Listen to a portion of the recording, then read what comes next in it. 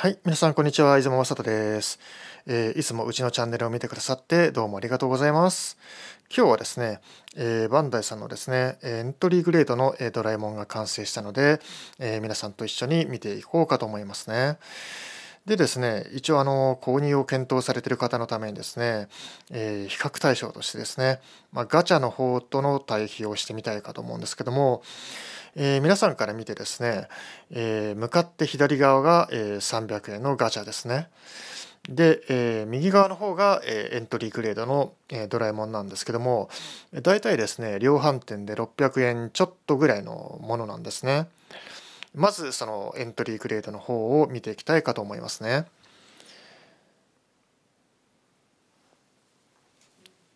まあどちらもですねあの同じバンダイさんの商品なんですけども多分事業部が違うかと思うんですね。でこちらは普通にプラキットなんですけどもなかなかよくできてはいるんですね。ただまあエントリーグレードだけあってですね、まあ、こういう形になっててですね何かどっか可動部分があるとかそういう部分はないです全くないですね。で一つねあの皆さんから見てちょっと気になってるところがあるかと思うんですけどもこの目の部分ですねこれあのシールを上から貼ってるんですけども、えー、ちょっと浮き上がりがあったりシワになってるとこがあるんですけど結局ですねこういうふうに顔にですね湾曲があるじゃないですか。あのまあ球状になってるんで、ね、顔がね。ここにですねあの平たいあのシールを貼るとですねやっぱりどうしてもちゃんと貼れないというところがあってですねなんかこう浮き上がってきてしまったりとかですね。あとこうきちんとですね圧着しようと思うとですねたわみができてしまったりとかですね。まあそういう部分はありますね。でガチャと違うところはですねこう口のところにですねこう微妙な厚みとかがあってですねこう立体表現っていうのがあるんですね。それはあのここのポケットなんかもそうなんですけどもただの線ではないこのポケットのところにあの厚みがあるような形になってますね。これ実際ですねあの自分も作ってみてなかなか面白いなとは思ったんですけど、まあ、特に変なあのバリもありませんしねあのまあこれだけの部品数っていうのもあるんですけどまあ部品がね合いが悪いところもないですしね非常に綺麗に仕上がるあの一品ではあるんですよ。まあ、ちょっとこの目の、ね、シールのところが残念かなっていうところがあるんですけどえーとでねこの部分が実際どうなってるかっていうとですねこのヒゲのところがありますよね黒いところこれをですねこの白いパーツのところに裏からこの黒い部品をはめ込んでるんですね。で目は実を言うとですね黒い部品として存在しているんですけど、えー、真ん中の白いその黒目の中の白の部分がないんですね。まあ、なのでこういうふうにあのシールを貼るっていうことが一つと、えー、笑ってる表情とかですねハートマークのやつとかいくつかシールの種類があるんですね。で顔に表情を持たせたい場合はこういうふうにシールであの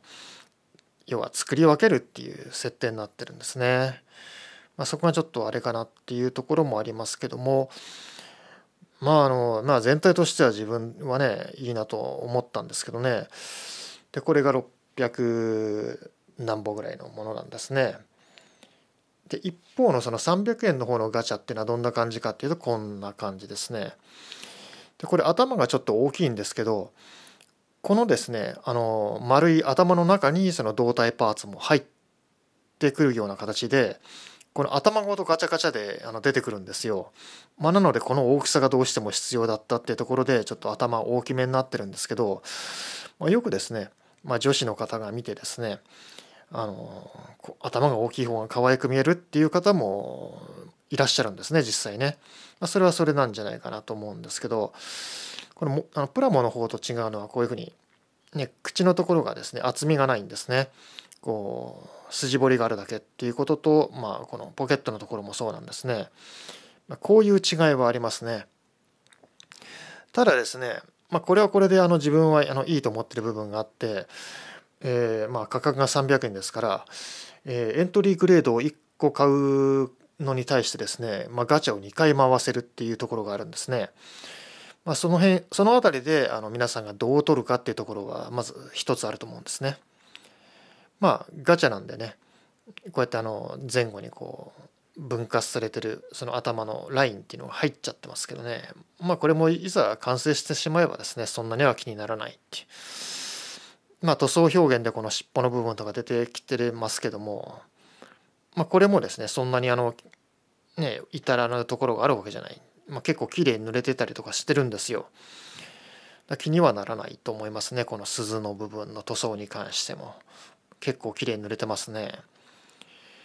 こんな感じですね。どうですかねこれ実際こちらとあの見た感じっていうの。うん。でこのエントリーグレードの方がですねこれ若干ちっちゃいんですね。あのこちらのねエントリーグレードの方がまあガチャを取るかエントリーグレードを取るかうん、好みはいろいろあると思うんですけどね。こんな感じですかね。まあどちらも悪くはないですけどね。うん多分ですねコアなドラえもんのファンの方はねあの結局はみんな買ってると思うんですね。もういっぱいもう集めちゃってると思うんですけどね、うん、ただそこまではいかないその不安の方っていうの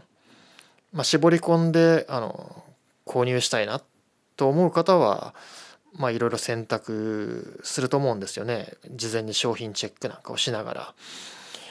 うん、まあまあまあまあ自分はどちらも良くてですね気に入ってはいますけどね。うんまあ、こちらのエントリーグレードの方はねあのアニメとかこう漫画の形により忠実にっていうところがまあ一つの売りな部分っていう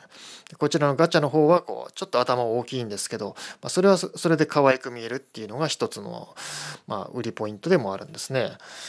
まあ、こんな形ですかね。まあ、両方並べておくとですねあの対比ができて、まあ、それはそれで面白いかなっていうところはあると思うんですけどね。で今回はですねこのガチャのやつと、え、エントリーグレードの対比というところで、え、両方見ていただきましたこれからですねあのねドラえもん購入され,、ね、されることをあの検討してるっていうの方は